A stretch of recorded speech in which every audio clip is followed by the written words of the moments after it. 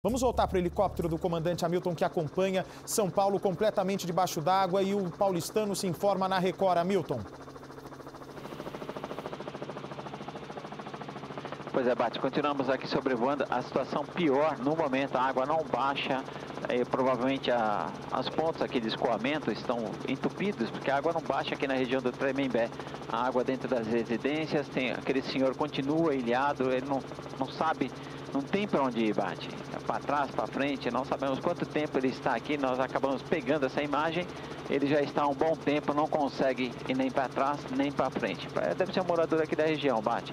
Lá dentro da residência, pelo que a gente nota, a água em alguns pontos passa de um metro. A água realmente está muito alta aqui, bate. Vários carros continuam ainda é, submersos, praticamente água...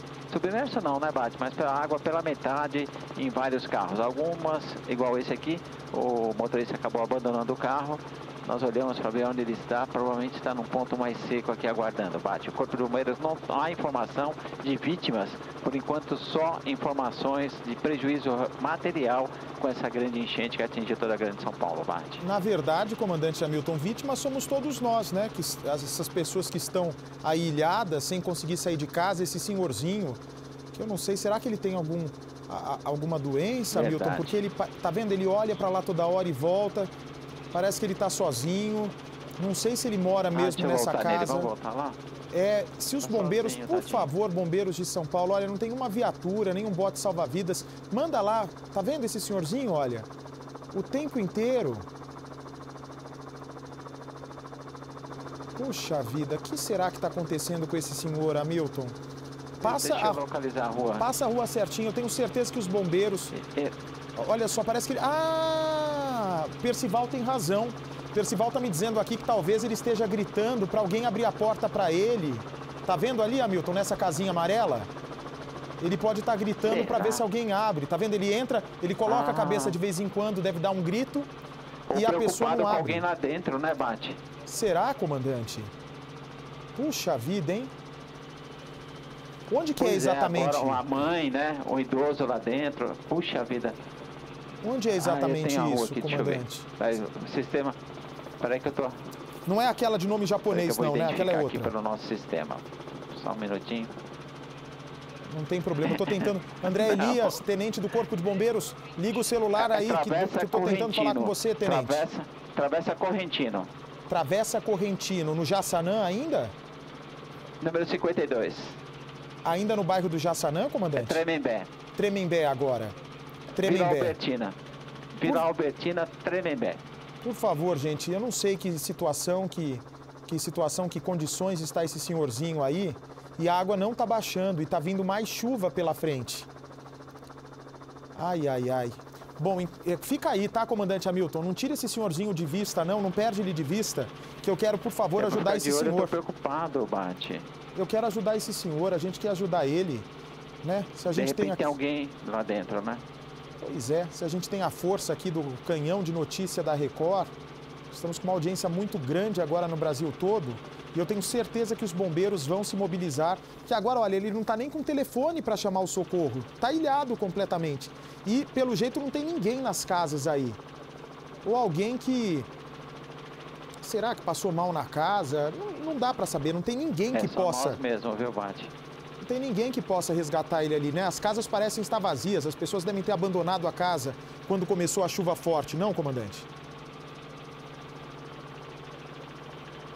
Pois é, Bate, mas eu fiquei preocupado agora que você observou. E se tem algum idoso, alguma pessoa idosa lá dentro, uma pessoa com dificuldade, com algum problema, porque ele não sai daí, Bate. Ele está preocupado, ele está tentando algum contato. Você observou muito bem. Então, por isso que eu passei a rua acho que seria importante alguém ajudá-lo, porque está sozinho. Se não fosse o helicóptero ter pego nessa né, imagem, ele ficaria aí sozinho, abandonado.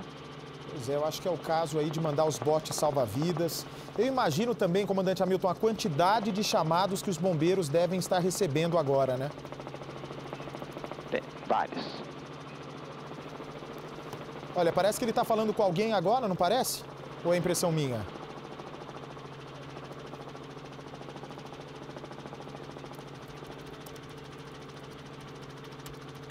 Parece que ele está falando. Ele sinalizou por Ah, olha ali, olha ali, ele fala. É, tá precisando de ajuda, hein, Bate? Pois é, não consegue sair daí, coitado desse senhor. Não sei se é trabalhador, se é aposentado, mas é um companheiro, né?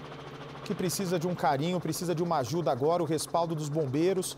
Tem alguma viatura por aí, Hamilton? Dá uma sapiada aí com essa, com essa câmera, por favor. Se não tem nenhuma viatura já nas imediações para a gente orientar melhor. Talvez os bombeiros é. estejam chegando com, com o bote salva-vidas, com o caminhão. Ih, está difícil, não tem como chegar até ele agora, só de helicóptero. Pois é, tem várias, várias unidades do Corpo de Bombeiros espalhadas com botes em vários pontos. É o que você falou, o Corpo de Bombeiros está em peso na rua uh, e não tem nenhuma viatura vindo para cá. Estão todas ocupadas, Bate. Bom, enquanto isso, Hamilton, espera aí que eu vou fazer um contato com os bombeiros direto na comunicação. O que, que é? Em um minuto os bombeiros vão falar conosco, é isso? Eu já vou fazer o apelo aí, Hamilton. Vai falando que eu estou ligando aqui para os bombeiros, comandante. Por gentileza, amigo.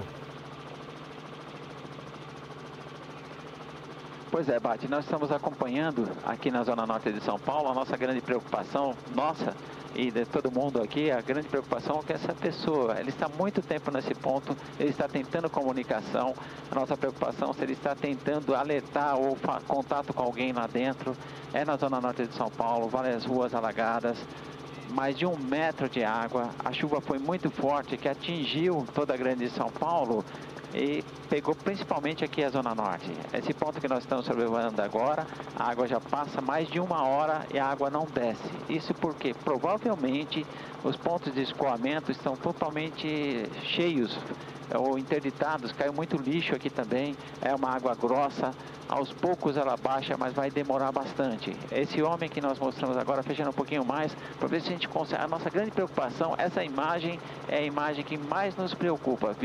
A gente olhou, observou vários pontos aqui de São Paulo, onde as pessoas estavam sofrendo, água invadindo, mas essa nos preocupa. Ele está sozinho, não sei se ele está falando com alguém, a gente fecha, ele está sem o celular, ele pelo menos a gente não observou ele tentando contato via celular com o Corpo de Bombeiros, com alguém, embora as unidades do Corpo de Bombeiros estão com muito trabalho. A gente acompanhou os barcos, os botes sendo usados principalmente na área central, parte aqui do Parque do Chaves, que fica bem aqui na, do lado onde nós estamos sobrevoando agora, próxima à rodovia Fernão Dias, que liga São Paulo à região de Minas Gerais, área que foi bastante, sofreu bastante, vários pontos alagados, o Corpo de Bombeiros teve muito trabalho para poder socorrer as pessoas usando bote, principalmente crianças e idosos. Agora esse ponto aqui não tem nenhuma unidade do Corpo de Bombeiros ainda, a água vai demorar, esse homem ah, ele está sinalizando para alguém. Está sinalizando para alguém, não sei se ele conseguiu algum contato na casa aqui, ou ele está chamando para ver se alguém escuta. Olha aquela janela, Danilo, vê se tem alguém ali, ó. Pois não, Bate, chamou? Olha, peraí, Hamilton, peraí, tem comandante. Aqui, peraí, ai, a pessoa abriu a janela agora. Será que é essa pessoa que ele estava esperando, meu Deus? Puxa, tomara é. que seja. Ou a pessoa pegou no sono. Não, é outra casa. Vou ah, voltar. Vê se ela pode ajudar ele, coitado senhorzinho aí. Tenente André Elias, do Corpo de Bombeiros, me ouve, tenente? Pois não. Tenente, se conseguir mandar um bote salva-vidas aí para esse nosso povo de Tremembé, do bairro do Tremembé, eu te agradeço. O povo está ilhado aí, olha, não tem quem socorrer esse nosso senhor. O Bate, nós já temos viaturas aí, inclusive pela Zona Norte, Tremembé, Mandaqui, Jaçanã, tá? Fazendo o atendimento. Se o nosso comandante Hamilton puder passar esse endereço aí, eu já consigo mandar para o centro de operações do Corpo de Bombeiros para agilizar, inclusive, esse, esse trabalho aí, Bate. Olha, é, eu vou pedir para o Hamilton, comandante Hamilton, fala para a gente com detalhes, se quiser mostrar pela câmera, qual o caminho... Travessa Correntinos, Bate. Mas Travessa... mo mostra aí com a câmera, Hamilton, uma avenida é, famosa daí, uma avenida grande, movimentada, até essa casinha aí, pros, que, os, que o Tenente André Elias vai me fazer a gentileza de mandar uma viatura lá para salvar esse senhor, né? Que está ilhado já faz horas, pelo jeito. Já faz horas não, minutos. Fala, comandante. Ixi, tá, a gente está com dificuldade na, na sua comunicação, Hamilton. Tenta falar de novo, comandante, que o tenente André Elias está agora. Quero agradecer o trabalho dos bombeiros de São Paulo. São guerreiros que trabalham com afinco.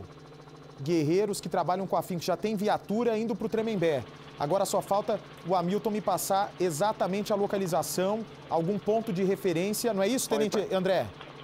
Isso, o Bate, pode ser a própria pessoa aí ligar um 93, cada acesso ocorrência, Bate, nos ajuda bastante. Mas não Já tem cai como. direto na nossa Não- não tem- central do Corpo de Bombeiros também. Ele, ele tá sem celular, coitado, Tenente. Não tem nem celular o moço ali, ó. Pois é. Fala aí, Não, Hamilton. vamos, vamos conseguir esse endereço aí, Bate. Vamos ver se essa ocorrência, inclusive, já está cadastrada ou não. Pode até abrir em meu nome, Tenente, aí a ocorrência. Qual que é o nome da rua, o comandante Hamilton? 52, altura da Santa Catarina. É Travessa Correntinas, número 52, altura do número 5000, mais ou menos, da Nova Cantareira. Todo o bairro está alagado, mas esse senhor está ilhado aqui sozinho. Ali está mais, olha, pelo menos eu cheguei aqui, já estou mais de 30 minutos, hein, Bate? Só girando aqui nesse bairro. Agora imagina quanto tempo ele está aí nesse ponto, já cansado, já exausto, tentando contato, tentando ajuda. Não, a gente vai ajudar ele sim, Hamilton. A gente vai ajudar ele sim. Tenente, conseguiu copiar aí, conseguiu anotar o endereço de onde está esse senhor? O nome da travessa. Qual que é o nome da travessa, Hamilton, que, que cortou?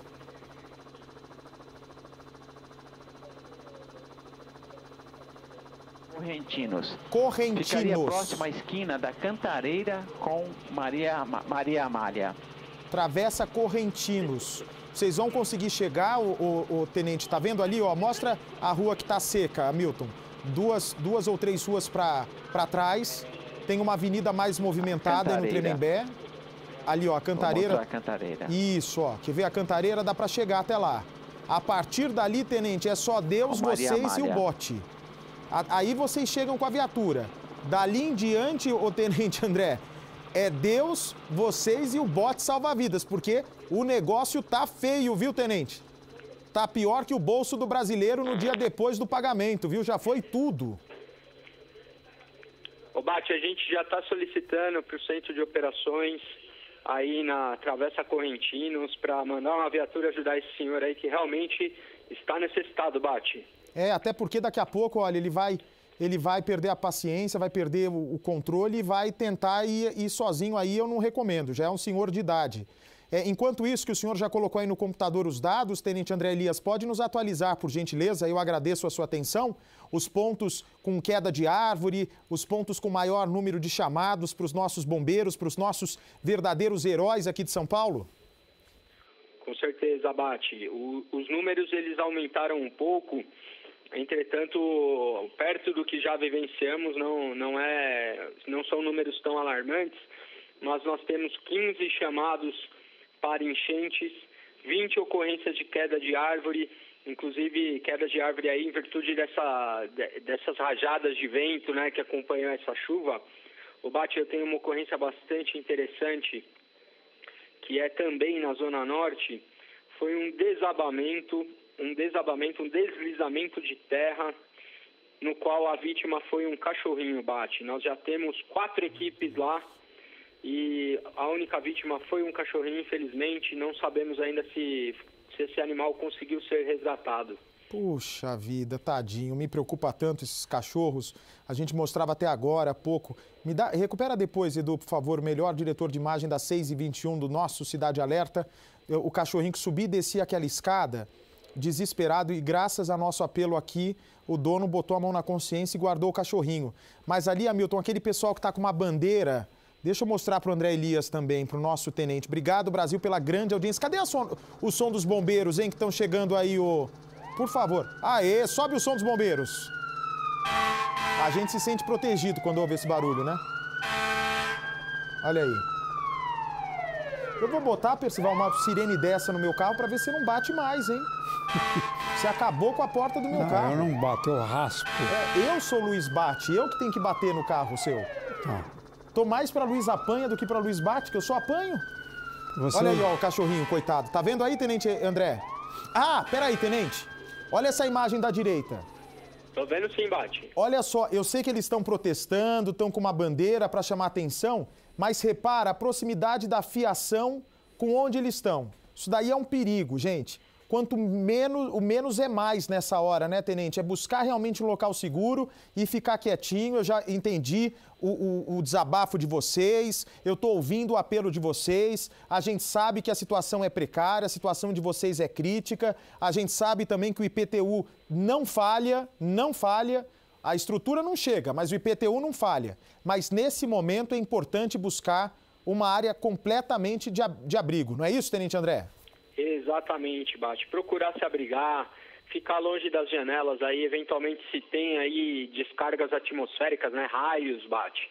A pessoa na janela ela pode estar mais suscetível a uma descarga atmosférica, é, evitar também, como você bem falou, né, o fio de alta tensão passando muito próximo ali, a pessoa balançando a bandeira, não sabemos ali se, se é um objeto de metal que ela está segurando, se eventualmente esse objeto encosta na, na linha de alta tensão, essa pessoa vai sofrer uma descarga elétrica e aí vai ser uma situação muito mais complicada em virtude do local que ela está, do alagamento, para o corpo de bombeiro chegar, para poder fazer os procedimentos, retirar essa pessoa de lá, Bate. Então, o ideal é procurar um local seguro, não se colocar em situação de risco, sempre que possível, Bate. Hamilton, Hamilton e Tenente André Elias, eu quero agradecer pelos bombeiros tratarem o cachorrinho vítima lá como uma vítima de verdade, né, da mesma maneira que você trata as pessoas. Ô, Bate, é por isso que vocês são tão humanos. Pois não, Tenente? Eu peço para que você, novamente, se o comandante Hamilton puder focalizar aí com a câmera aquele senhor para a gente poder fazer aí, mandar os recursos necessários. Já estou em contato com o Capitão Lopes, do Centro de Operações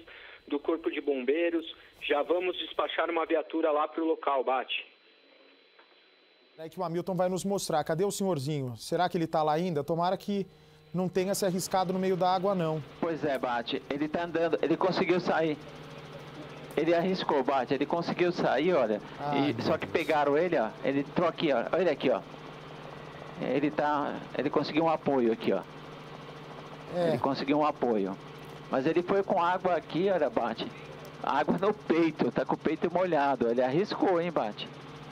É, tenente, ele foi buscar uma área ali, ele não estava confiante naquele, naquele banquinho que ele estava em cima, a gente não sabe em que condições, mas de qualquer maneira ainda deve ter gente, não é preocupada, gente ilhada. Se o senhor puder dar uma atenção aí para o meu povo querido do Tremembé, te agradeço em nome do Cidade Alerta e do povo do Brasil. Tá ouvindo, tenente? Estou ouvindo sim, Bate. É, infelizmente é uma situação bastante arriscada, né? Eu entendo aí, nós não conseguimos estar em todos os locais a todo momento, até porque se não for gerada uma ocorrência, Bate, dificilmente a gente vai saber aí dessa dessa necessidade. Então eu peço gentilmente que as pessoas liguem o 90, 193, perdão, ou o 90 também, não tem problema nenhum. Essa ocorrência vai ser direcionada para o Corpo de Bombeiros. E mais uma vez, se a pessoa conseguir não se colocar numa situação de risco, é muito melhor. Se tiver que fazê-lo, que faça com bastante cautela, tente o máximo possível de segurança, se afaste aí de fiação elétrica de poste. Se eu tenho uma calçada que tem poste e a outra não, eu vou andar pela outra, vou andar próximo ao muro das residências, que é um local que tem menos armadilhas ali, bate. É isso que a gente pede e o Corpo de Bombeiros está à disposição da população todo o momento.